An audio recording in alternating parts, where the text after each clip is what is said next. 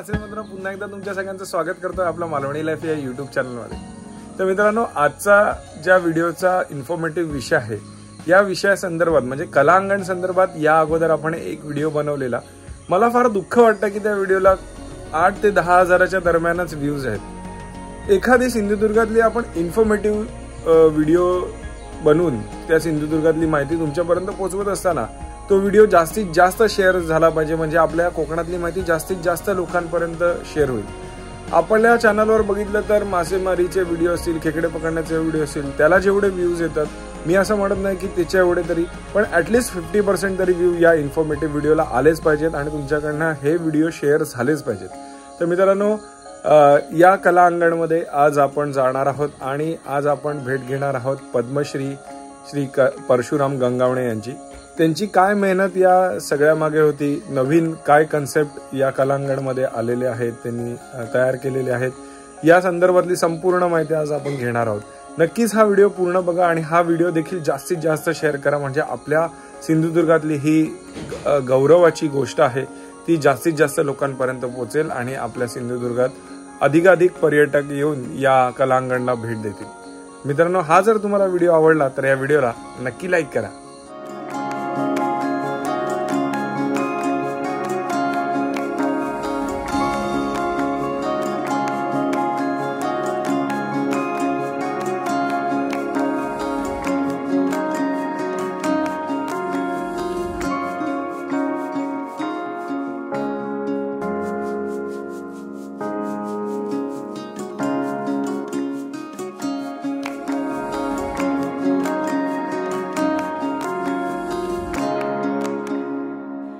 नमस्कार चेतन दादा स्वागत आहे पुन्हा एकदा आपल्या मालवणी लाईफ या यूट्यूब चॅनलवर या अगोदर आपण एक एक्सक्लुझिव्ह व्हिडिओ आपल्या या कलांगणचा बनवला होता. खूप चांगला लोकांनी त्याला प्रतिसाद दिला. आज आपण पुन्हा एकदा या ठिकाणी आलो आहोत कारण का आपल्या सिंधुदुर्गवासियांसाठी आणि महाराष्ट्रातल्या प्रत्येक मराठी माणसासाठी एक अभिमानास्पद गोष्ट आहे की बाबांना या दोन हजार एकवीसचा पद्मश्री पुरस्कार आपल्याला मिळालेला आहे. आणि आपल्या सिंधुदुर्गात तो आता आ बाबा स्वतः घेऊन आलेले आहेत सिंधुदुर्ग. तर ही खरंच खूप मोठी अभिमानाची गोष्ट आहे. तर बाबांची मुलाखत तर आपण घेणारच आहोत. पण त्या अगोदर या कलांगणमध्ये आणि नवीन नवीन उपक्रम चालू झालेले आहेत. तर आज आपण या व्हिडिओद्वारे काय काय पाहणार आहोत? नमस्कार. आजच्या या व्हिडिओच्या माध्यमातून आपण आपल्या ह्या कलांगणच्या ज्या दोन तीन वेगवेगळ्या प्रकारच्या ज्या ॲक्टिव्हिटीज आहेत त्या आपण पाहणार आहोत. ज्यामध्ये आम्ही आत्ताच एक नवीन टाका आर्ट गॅलरी म्हणून आम्ही सुरू केले. म्हणजेच आमच्या ठाकर आदिवासी कला अंगणची एक वेगळी स्पेसिफिक आम्ही आर्ट गॅलरी बनवली. जी आम्ही आमच्या समाजातील लोककलेंसोबत आम्ही आपल्या ज्या सिंधुदुर्ग जिल्ह्यामधील विविध प्रकारचे हँडीक्राफ्ट प्रोडक्ट करणारे जे कोणी कलाकार मंडळी असतील त्यांचं एक छोटंसं हब किंवा त्यांचे सगळं कलेक्शन ह्या गॅलरीमध्ये व्हावं. ह्या अनुषंगाने आम्ही एक टाका आर्ट गॅलरीची सुरुवात केली आहे. आणि सोबत आम्ही एक नवीनच प्रोजेक्ट आम्ही सुरू केला आहे ज्यामध्ये आम्हाला महाराष्ट्र पर्यटन संचालयामार्फत ॲग्रो टुरिझम कृषी पर्यटनाचं आम्हाला लायसन्स मिळालं आहे आणि त्या अंतर्गत आम्ही ह्या आमच्या परिसरामध्ये आम्ही कृषी पर्यटनाचं एक छोटंसं संग्रहालय आम्ही इथे बनवलेलं आहे ज्यामध्ये ऑर्गॅनिक फार्मिंग असेल त्याचप्रमाणे ह्या कृषी पर्यटनाविषयक सर्व माहिती ह्या Taka Konkan culture park agro tourism असं त्या प्रोजेक्टचं नाव आहे. आणि तिसरी एक गोष्ट आम्ही इथे सुरू केली आहे ती म्हणजे सुंदर आर्ट होमस्टे. ज्या आर्ट होमस्टेमध्ये आम्ही काय करतो की आमच्याकडे येणारे जे पर्यटक आहेत ते तर सिंधुदुर्ग पर्यटन करताच पण आमच्याकडे येणारे जे विविध प्रकारचे जे आर्ट शिकण्यासाठी ही जी मुलं येतात तर त्यांची राहण्याची सोय जेवणाची सोय आणि त्यांना ह्या लोककला आपल्या शिकवाव्या यासाठी म्हणून आम्ही आर्ट होम होमस्टेची सुद्धा सुरुवात केलेली आहे.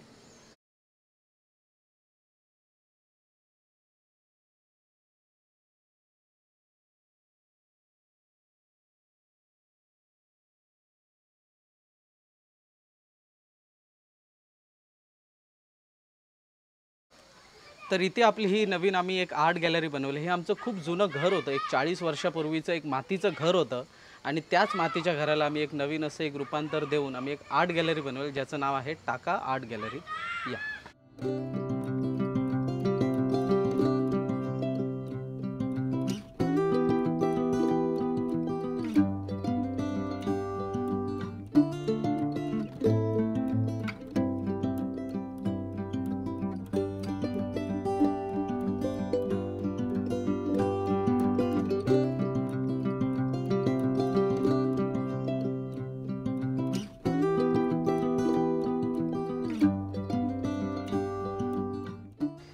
आर्ट गॅलरीमध्ये आम्ही असं बनवलं आहे की आपल्या कोकणातील खाद्यपदार्थसुद्धा असतील किंवा आपल्या कोकणातील विविध प्रकारच्या हस्तकला रिलेटेड हे आपले प्रोडक्ट्स असतील ते आम्ही आर्ट गॅलरीमध्ये दाखवण्याचा प्रयत्न केला आहे ज्यामध्ये आमच्या चित्रकथेचं एक पुस्तक आम्ही इथे बनवलेलं आहे ते इथे विक्रीसाठी आहे.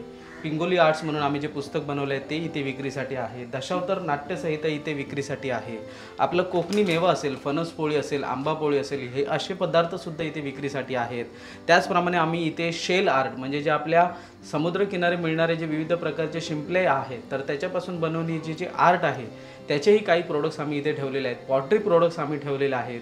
माझी मोठी बहीण जी आहे ती ज्यूटच्या बॅग्स बनवते तर त्याही गोष्टी आपण इथे विक्रीसाठी ठेवलेल्या आहेत. जेणेकरून विविध प्रकारचे जे कलाकार आहेत आपल्या ह्या सिंधुदुर्ग जिल्ह्यामध्ये त्यांना कुठे ना कुठेतरी एक रोजगाराची संधी मिळावी.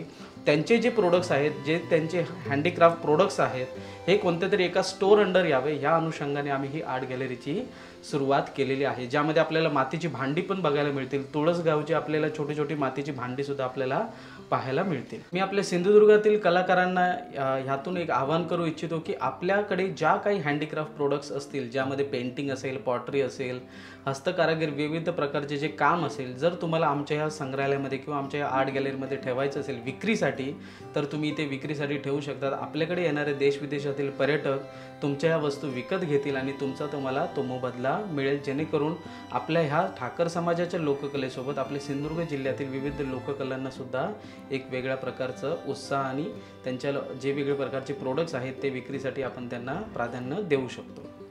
तर जसं मी बोललो की ह्या संग्रहालयामध्ये आमचे विविध प्रकारचे हँडीक्राफ्ट प्रोडक्ट्स आपण ठेवलेले आहेत ज्यामध्ये आपण इथे बघू शकतो की कोकणी मेवा आहे वरती सर्व ह्या चामड्यांच्या बाहुल्या आहेत.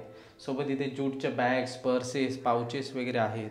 इथे आम्ही बुकमार्क्स पोस्ट कार्ड्स त्याचप्रमाणे पोस्टर्स त्याचप्रमाणे काही पॉटरी प्रोडक्ट्स त्याचप्रमाणे की होल्डर्स वगैरे ह्याही गोष्टी ठेवलेल्या आहेत. माझ्या हातामध्ये जे तुम्ही पाहता ही चामड्याची बाहुली आहे. पूर्णपणे बकऱ्याच्या चामड्यावरती बनवलेली आहे. ही शॅडो पपेट्री म्हणून ह्याला ओळखलं जातं. लेदर पपेट्री म्हणून ओळखलं जातं. आणि ह्याची मागणी परदेशामध्ये खूप मोठ्या प्रमाणामध्ये आहे तर याही प्रोडक्ट्स आपल्याला इथे पाहायला मिळतील आणि विक्रीसाठी उपलब्ध आहेत.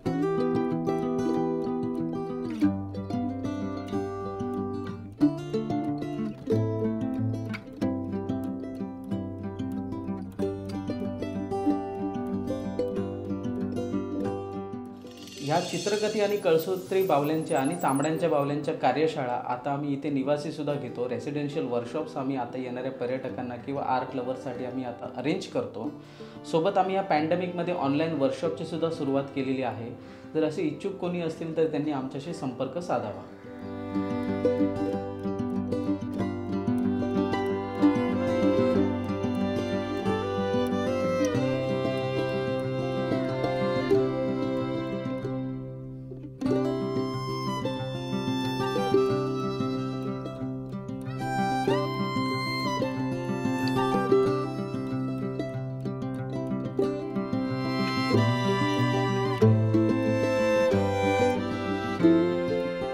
हा जो प्रोजेक्ट आहे याला आम्ही टाका कोकण कल्चर पार्क म्हणून असं नाव दिलं आहे आणि ज्याला ॲग्रो टुरिझम म्हणजे Taka Konkan culture park agro tourism म्हणून हा प्रोजेक्ट आहे. ॲक्च्युली टाका कोकण कल्चर पार्क म्हणजे काय? तर आमच्या ठाकर आदिवासी कलांगणचाच हा एक दुसरा एक प्रोजेक्ट आहे ज्यामध्ये आम्ही ॲग्रो टुरिझमला थोडंसं प्रमोट करण्याचं म्हणजे आपल्या सिंधुदुर्गाचं थोडंसं ॲग्रिकल्चरल जी आपली लाईफस्टाईल आहे ज्या आपल्या जुन्या जुन्या गोष्टी ज्या आपण आपल्या रेग्युलर लाईफमध्ये जी आमची तीस चाळीस वर्षापूर्वी जी लोक वापरायची किंवा आताच्या क्षणालाही जी लोक वापरतात त्या गोष्टी कुठे ना कुठेतरी आताच्या ह्या युवा पिढीला आताच्या युथ जनरेशनला ह्या गोष्टींची माहिती व्हावी. यासाठी म्हणून आम्ही हे छोटे छोटे हट्स बनवलेत आणि ज्यामध्ये आम्ही जुन्या गोष्टींची मांडणी केली ज्यामध्ये आपण बघू शकतो की मुडी आहे त्याचप्रमाणे कणगी आहे बांबूचे बांबूच्या टोपल्या आहेत त्याचप्रमाणे आपल्याकडे इथे शेवगा आहे पाटा वरवंटासारखी गोष्ट आहे त्याचप्रमाणे विविध प्रकारची मडकी आहेत. शेता शेतीसाठी लागणाऱ्या सगळ्या गोष्टी नांगर असेल रुमणी असेल इशाड असेल अशा वेगवेगळ्या गोष्टी आपण ह्या झोपडीमध्ये मांडणी करून ठेवलेल्या आहेत.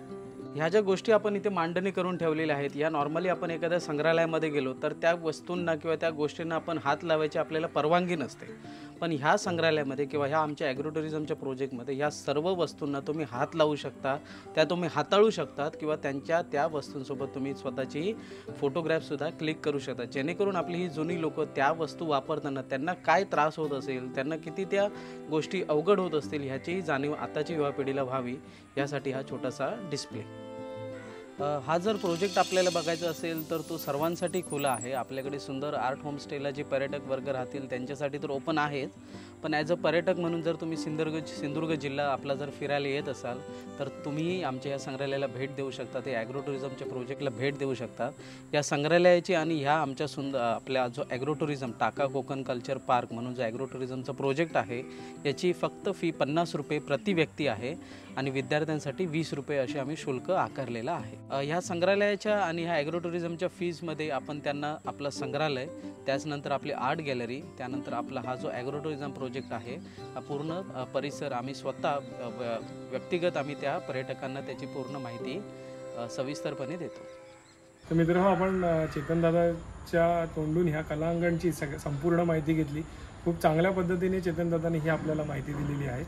आता तो क्षण आलेला आहे. मगाशी मी सांगितलेलं की या ठिकाणी आपले परशुरामजी गंगावणे सर यांना या दोन हजार एकवीस हा पद्मश्री पुरस्कार प्राप्त झालेला आहे आणि तो पुरस्कार घेऊन ते सध्या आता आपल्या सिंधुदुर्गात त्यांच्या राहत्या घरी आलेले आहेत. आणि आपल्या मालवणी लाईफ यूट्यूब परिवाराकडनं एक प्रेमाची भेट आपण त्यांच्यासाठी आणलेली आहे. आपण मगाशी ते रिव्हील केलं नव्हतं तर एक खूप चांगलं चित्र या ठिकाणी आपले मित्र आहेत. विजय परुळेकर जे मुंबईला असतात. त्यांच्याकडनं आपण हे ही फ्रेम बनवून घेतलेली आहे. आणि खूप मला असा अभिमान वाटतो आहे की आज हा जो पद्मश्री पुरस्कार आहे हा ह्याची देही ह्याची डोळा आज मी पाहणार आहे. तर सर आता आतमध्ये बसलेले आहेत तर आपण त्या ठिकाणी जाऊया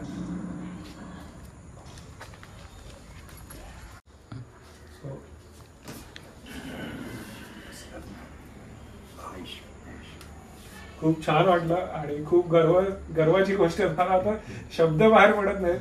आणि एक छोटीशी आमच्या मालवणी लाईफ परिवाराकडनं एक छोटीशी भेट तुमच्यासाठी आणलेली आहे. खरंच तुम्हाला जर आवडलं असेल तर आवडलं म्हणजे ना. तर सरांना देखील ही. फ्रेम खूप आवडलेली आहे. आणि खूप चांगल्या पद्धतीने त्यांनी बनवलेली आहे. तर काही माझे मोजके प्रश्न आहेत. तर ते आपण एक छोटस चर्चा तर तुमच्याबरोबर नक्की नक्की. तुमच्याबद्दलची जी माहिती आहे ही आता गुगलवर टाकल्यावर तर नक्कीच सगळ्यांना मिळेल. आणि तुम्हाला पद्मश्री पुरस्कार मिळणार हे प्रत्येकाला असं आतून वाटतच होतं की हा पद्मश्री पुरस्कार तुमच्यापर्यंत येणार यात काही ती मात्र शंकाच नव्हती. आणि तुमचे जे कष्ट आहेत तुमचे गेल्या या चाळीस पन्नास वर्षात जेव्हापासून तुम्ही इथे आहात तेव्हापासून जे तुम्ही कष्ट केलेले आहेत आणि त्याचं फळ आज आपल्याला हे मिळालेलं आहे. पद्मश्रीच्या स्वरूपात हा पुरस्कार आपल्या सिंधुदुर्गात आलेला आहे तुमच्यामार्फत हा पर पुरस्कार जाहीर झाल्यानंतर ते हा पुरस्कार आपल्या सिंधुदुर्गात येईपर्यंत तुमचा एक्सपिरियन्स काय आहे होता? तुमच्या काय भावना होत्या? त्या आपल्या या प्रेक्षकांना ऐकायला नक्कीच आवडतील. नमस्कार.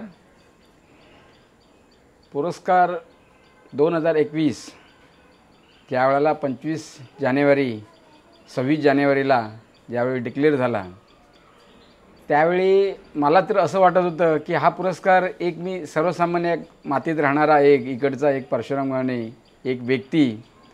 आणि हा सर्व उच्च पुरस्कार मिळणं फार मोठं म्हणजे माझं एक भाग्य असं मला ते त्यावेळेला वाटलं सव्वीस जानेवारीला.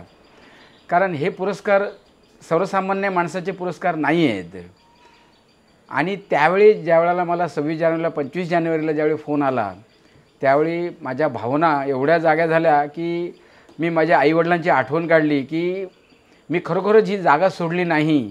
ही जागा मी सोडली नाही आणि कलेला मला सोडलं नाही कलेला मी सोडलं नाही. आणि त्यामुळे पंचवीस जानेला जानेवारीला दुपारी बारा वाजता मला फोन आला आणि तिथून माझ्या गावामध्ये आणि माझ्या नातेवाईकांमध्ये एक जल्लोष निर्माण झाला. असा जल्लोष निर्माण झाला की परशुराम मामा मला म्हणतात माझ्या इकडे सिंधुदुर्गातले काही माझ्या समाजाचे लोक की मामांना पुरस्कार डिक्लेअर झाला आम्हाला खूप आनंद झाला. अशा लोकांनी जल्लोष केला आणि इथं लोकांची आपल्याकडे पंचवीस तारीख चार वाजल्यापासून इकडे लोकांची लाईन लागली अक्षरशः लाईन लागली. आणि हे सगळं झाल्यानंतर कोळी असल्यामुळे कोरोनाचे एवढं यात संपूर्ण जगामध्ये हे सगळं पसरल्यामुळे हा आपला पुरस्कार थोडा लेट झाला म्हणजे तो थांबला आणि आत्ताच मला नऊ नोव्हेंबरला तो पुरस्कार देण्यात आला. मला खरोखरच आनंद वाटतो ज्यावेळी नऊ नोव्हेंबरला ज्यावेळी पुरस्कार मी ज्यावेळेला राष्ट्रपती भवनमध्ये ज्यावेळी गेलो आणि राष्ट्रपती भवनमध्ये आम्हाला ट्रेनिंग दिलं की कसा पुरस्कार घ्यायचा असतो तुमची ही जे मॅडल तुम्हाला दिलेली आहे ती मॅडल कशी वापरायची आणि कुठे वापरायची ह्याचं पण आम्हाला ट्रेनिंग दिलं. माझा मुलगा बरोबर होता. ते म्हणाले तुम्हाला दोन मॅडल आम्ही देतो आहे ती दोन मॅडल अशी आहेत की एक मॅडल आहे ते सार्वजनिक जे मोठे कार्यक्रम असतात त्या ठिकाणी लावायचं असतं. आणि दुसरं छोटं मॅडल मेडल दिलेलं जे आहे ते मॅडल तुम्ही असं जनरली असं छोट्या मोठ्या कार्यक्रमाला त्यावेळेला लावायचं असतं. कारण का? तर तुम्ही हे तुम्ही राहिलेले नाहात तुम्ही ही प्रॉपर्टी आता भारत सरकारची राहिलेली आहे. असं म्हणून मला ती दोन मॅडल त्यावेळेला दिली गेली आणि माझं ट्रेनिंग घेतलं तिथे कसं जायचं काय करायचं वगैरे. आणि तुम्हाला सांगू ज्यावेळेला आम्ही बसलो राष्ट्रपती भवनमध्ये ट्रेनिंग झाल्यानंतर त्यावेळेला नरेंद्र मोदी साहेब आले पंतप्रधान त्याच्यानंतर हे आले राष्ट्रपती पहिले आले उपम पंतप्रधान हे सर्व लोक ज्यावेळी आले आणि तिथं आपण ज्यावेळी बसलो आणि त्यावेळेला माझं नाव फुकरलं गेलं. माझं नाव फुकरलं गेल्यानंतर मी ज्यावेळेला तिथं पुरस्कार घेण्यासाठी ज्यावेळी गेलो त्यावेळेला स्वतः राष्ट्रपती माझ्याशी बोले परशुराम जी आपने बहुत बढ़िया काम किया अच्छा काम किया इसके लिए आपको तो ये सब मिल गया। असं माझ्याशी स्वतः बोलले काय? आणि मग तिथून सगळे पुरस्कार देऊन झाल्यानंतर बावन्न लोकांना पुरस्कार त्यावेळेला ते दिले कारण संध्याकाळी पाचची वेळ होती पाच ते सहा वाजेपर्यंत. आणि त्यानंतर आमचा एक ग्रुप फोटो झाला सगळ्या ह्या मंत्र्यांबरोबर. आणि त्याच्यानंतर आम्हाला चहा पाण्यासाठी आम्हाला त्यांनी बोलवलं. आणि चहा पाण्याला बोलवताना बोलवल्यानंतर तिथे अशी लाईन लावली बावन्न लोकांची. आणि बाय बावन्न लोकांची लाईन लावून आम्हाला उभे केले आणि तिथं पंतप्रधान राष्ट्रपती सर्व मंत्री आले.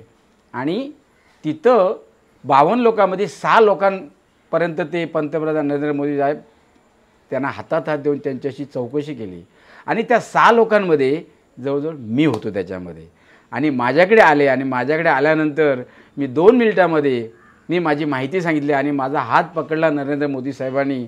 आणि जवळजवळ दोन तीन मिनटं माझा हात सोडत नव्हते.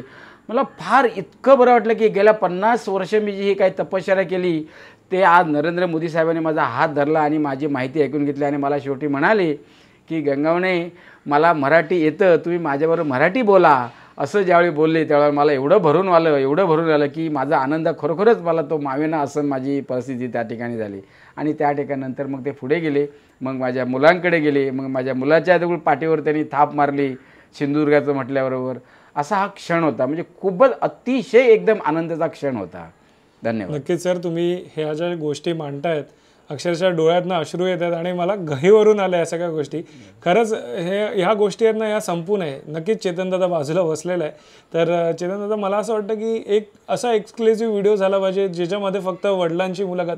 असं नाही की मालवणी लाईफ कोणी पण इथे येऊन मोठ्या व्यक्तीने हा मुलाखत घ्यावी आणि हे जे एक्सपिरियन्स असतात ते नक्कीच सरांनी शेअर केले पाहिजेत. या छोट्या ह्याच्यात नाही तर नक्कीच मोठ्या इंटरव्ह्यूमध्ये शेअर केलं पाहिजे सो खूप खूप धन्यवाद सर आणि तुमच्या पुढील वाटचालीस मालवणी लाईफ परिवाराकडनं खूप खूप शुभेच्छा. थँक्यू चेतनदा सरांनी खूप छान माहिती दिली आणि त्यांचे जे अनुभव आहेत ते आपल्या प्रेक्षकांसाठी त्यांनी शेअर केले. आता मला पुढचा एक प्रश्न होता की पद्मश्री हे डोळ्याने बघणं हीच खूप मोठ्या भाग्याची गोष्ट आहे.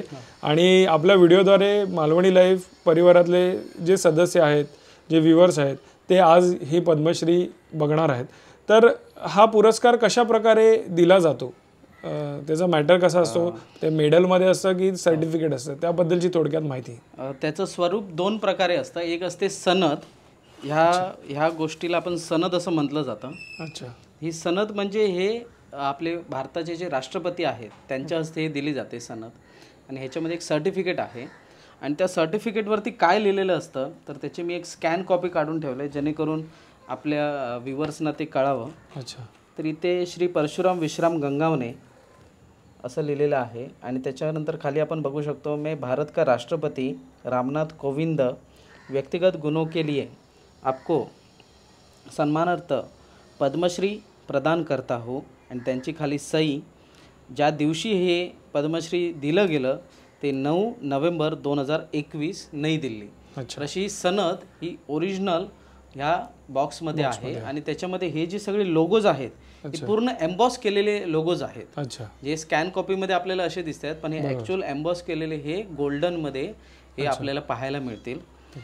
दुसरी गोष्ट एक महत्त्वाची ह्या पद्मश्रीमध्ये दिली जाते तो म्हणजे हा मेडल ज्यामध्ये आपल्या भारतामध्ये विविध प्रकारचे पद्मश्री पद्मविभूषण पद्मभूषण किंवा भारतरत्न आणि आपले जे अर्जुन पुरस्कार असतील खेलरत्न पुरस्कार असतील किंवा आपल्या आर्मी आणि नेव्ही ऑफिसर्सना दिले जाणारे जे शौर्य पुरस्कार असतील या सर्वांना एक मेडल दिलं जातं.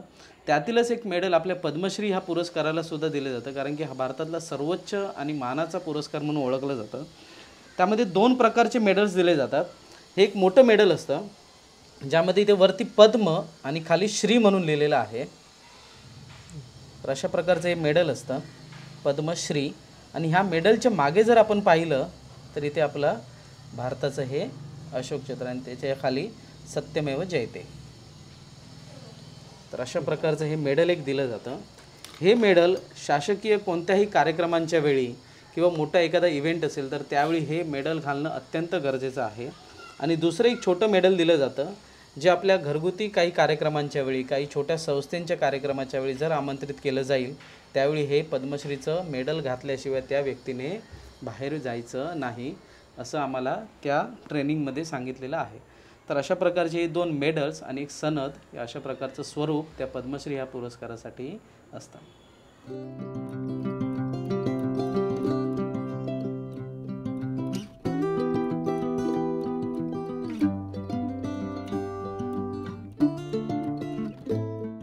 तर इथे आपला हा होमस्टे आहे. खाली आमचं रेसिडेन्शियल आहे आणि वरती आम्ही पर्यटकांसाठी राहण्याची सोय केलेली आहे. ज्यामध्ये आम्ही विद्यार्थ्यांसाठी सुद्धा इथे राहण्याची सोय आहे. आपल्याकडे प्रायमरी बेसिसवरती तीन रूम्स आहेत. ज्यामधली एक रूम आपल्याकडे ए सी रूम आहे आणि दोन रूम्स आपल्या नॉन ए सी आहेत. आणि एक डॉर्मेटरी आम्ही हॉल बनवला आहे जो काही पर्यटकांसाठी सुद्धा आणि काही आपल्याकडे येणाऱ्या विद्यार्थ्यांसाठी सुद्धा.